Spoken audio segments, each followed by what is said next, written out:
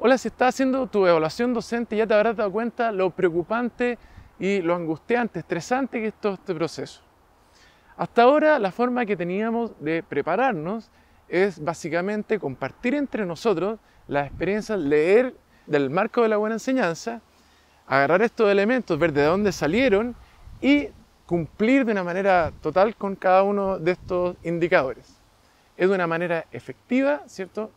Que eh, resulta positivamente, pero lleva mucho tiempo. Y eso es lo que hacemos básicamente en este canal, en las mentorías, en el fondo de explicar qué es lo que nos piden en cada paso. Pero te hago una pregunta. ¿No sería más fácil tener a nuestra disposición las pautas de evaluación para saber efectivamente qué es lo que nos ponen bueno y qué es lo que nos ponen malo en nuestro portafolio? Sería ideal, ¿cierto? Pero el problema es que los profesores y las profesoras que revisan el material se comprometen de no eh, revelar estas pautas de evaluación. Pero ¿qué pasaría si hacemos una ingeniería inversa?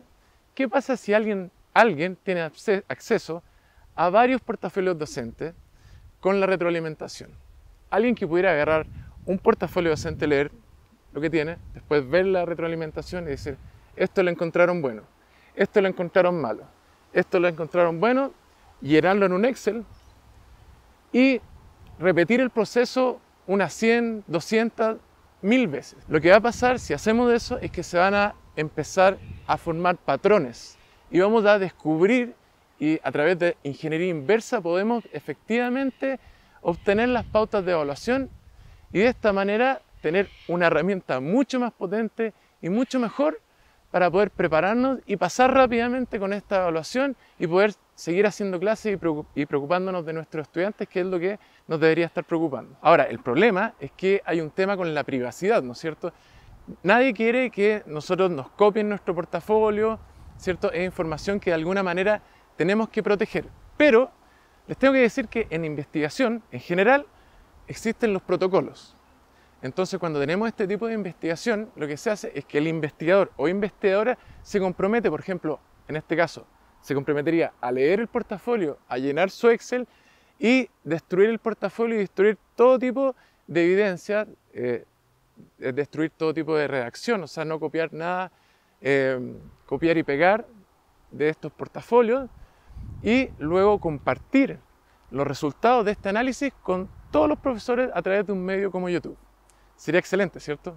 Y eso es lo que te quiero ofrecer en este video quiero ofrecer de construir esta prueba, quiero ofrecer de que me mandes tu portafolio pasado con la retroalimentación pasada. Yo de vuelta te voy a mandar un mail con el, con el compromiso de que voy a destruir toda evidencia de este portafolio después de leerla y ponerla en mi Excel o en, en mi base de datos. Y después cuando termine de analizar todos los portafolios que me envíen, voy a hacer la información pública voy a, en este mismo canal de YouTube, voy a hacer una serie de videos con las conclusiones de esta investigación.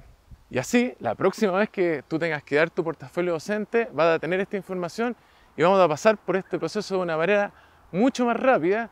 Y yo creo que incluso esta herramienta puede ser tan potente que puede llegar a dejar inefectiva la evaluación. Puede que derroquemos la evaluación porque ya hicimos la ingeniería inversa. Recordemos que este estándar de calidad viene de la empresa, viene de las fábricas, del mundo de los negocios. Están ocupando desde ese mundo una herramienta que nos está afectando a los profesores, que somos las personas que se supone que somos especialistas en evaluación. Entonces están ocupando una herramienta de nosotros para afectarnos. Y yo lo que te propongo es que nos reunamos, que me envíes esta información en un link que voy a dejar abajo.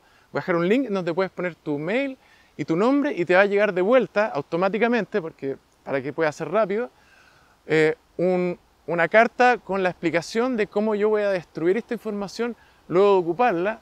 Y entonces con eso tú me vas a poder enviar de vuelta eh, a mi mail tu portafolio con la retroalimentación que hayas recibido y yo me voy a poner a, a investigar, a hacer todo esto y apenas tengo listo, eh, el resultado del análisis los voy a hacer público en una serie de videos para que estén a disposición de todos los colegas. ¿Qué te parece? Bueno, si te gusta esta idea, lo único que tienes que hacer entonces es hacer clic en el, en el link que dejo abajo en este video para que te llegue, para que te llegue un, un, mail automático con eh, la descripción de lo que yo voy a hacer con esta información y para que de vuelta tú puedas enviar adjunto tu portafolio y la retroalimentación, que es lo que te dijeron eh, como respuesta del ministerio.